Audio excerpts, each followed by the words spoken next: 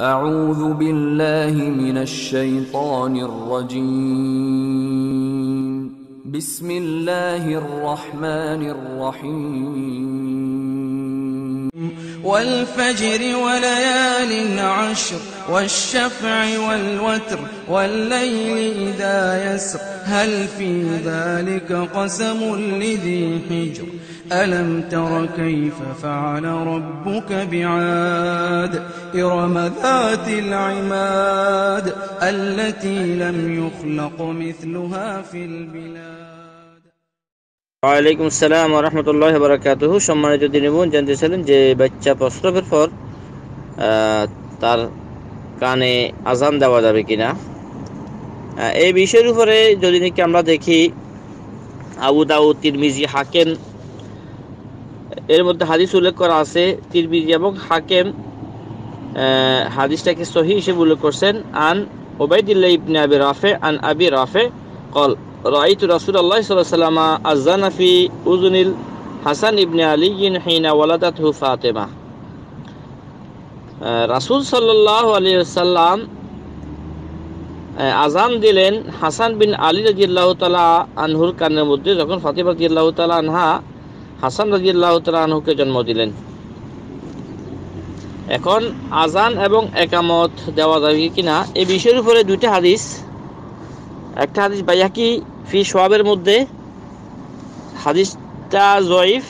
আব্দুল ইবনে আব্বাস রাদিয়াল্লাহু আল্লাহ আনহু মতে, কানা নবী আলাইহি ওয়াসাল্লাম ফি উজনিল হাসান ইবনে আলী ইন বুলিদ রাসূল সাল্লাল্লাহু আলাইহি ওয়াসাল্লাম হাসানের, হাসান বিন আলী রাদিয়াল্লাহু তাআলা আনহুমা কানের মধ্যে আজান দিয়েছেন যখন নাকি তার জন্ম হয়। ওয়াকামা ফি উজনিল ইউসরা। এবং তার বাম কানের মধ্যে একামত দিয়েছেন আরেকটা হাদিস, সেটাও বাইহাকিবের মধ্যে আছে, ফি সোহাবেল ইমান যদিও হাদিসটির মধ্যে জন সনদ জয়ীফ।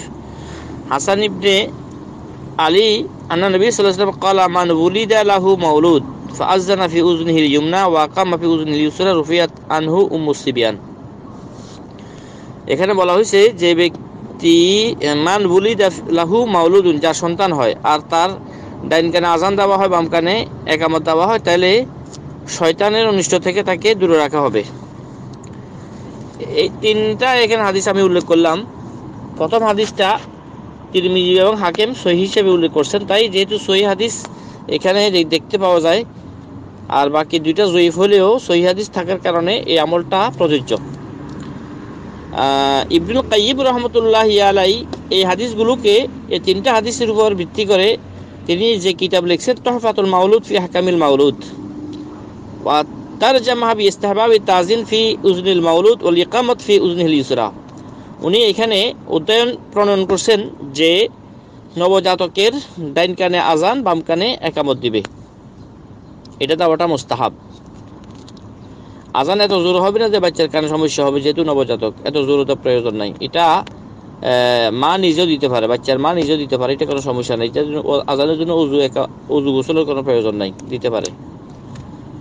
আর এখানে আমাদের দেশে ছেলে হলে আজান দেয়, অনেক কিছু করে, মেয়ে হলে আজান দেয় না। না, এটা আসলে জাহেরিয়াত এটা এটা করা যাবে না। বরং যে ছেলেদের যেমন আজান দেওয়া উচিত, মেয়েদেরও আজান দেওয়া উচিত। আর অনেকে হাসপাতালে বাচ্চা প্রস্তাব হলে ওইখানে দেয় না। না, এটা দিতে হবে। যেহেতু আমরা মুসলিম যেখানে বাচ্চা জন্ম গ্রহণ করুক না কেন, ওইখানে আদান দেওয়া চাই। যাতে করে বাচ্চা জন্মের পরে আল্লাহ তাবার তালার ওয়াহাদানি এদের কথা তার কানে পৌঁছে। আশা করি বিষয়ে বুঝতে পারছেন বাকি আল্লাহ আলম সালাম আলাইকুম